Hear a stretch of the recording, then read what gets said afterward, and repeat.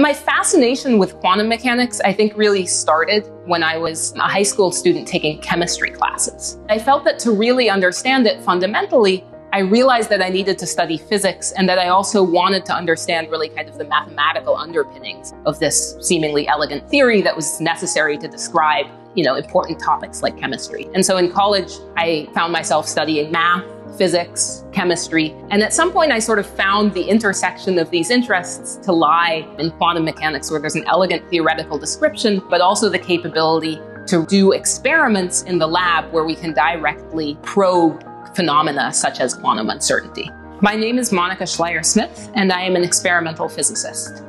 The key transformative idea that the field of quantum information science seeks to exploit is that information does not need to be encoded in individual bits, locally in individual particles, but information actually can be non-local. And that means that it can be stored in correlations between different particles in a phenomenon that is known as entanglement. The simplest quantum system is a quantum bit, which, like a classical bit, can be in the zero state or the one state.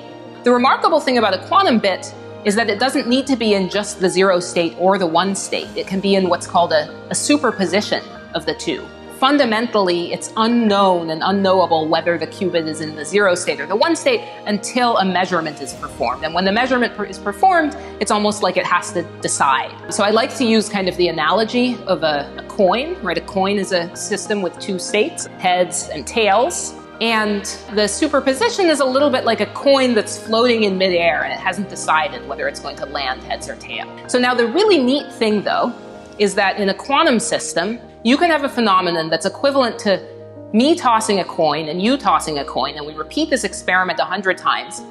And every time I get heads, you get heads. And every time I get tails, you get tails. But if I look at my tosses alone, the outcome always looks flat random. So there's this randomness, but there are correlations in the randomness.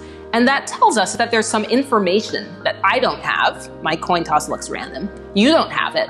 But when we compare notes, there's actually some information there and not just randomness. So this idea of having information that's encoded in correlations, this is known as entanglement.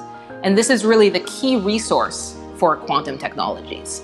We're currently working on advancing tools for controlling the interactions between laser-cooled atoms with an eye towards applications ranging from ever better sensors and clocks to new paradigms for computation to fundamentally secure methods of transmitting information over long distances. So we actually do experiments where we have a high degree of control over atoms that we essentially bring to ultra low temperatures and pin in optical traps and we allow these atoms to sort of talk to each other in a way that uses our ability to control them with light. So for example, we have ways that one atom can talk to another atom by sending a photon from one to another. This allows us to have information that is very rapidly transmitted over what on quantum scales is a very long distance. Broadly, the field of quantum information science is about exploiting this phenomenon for those technological aims.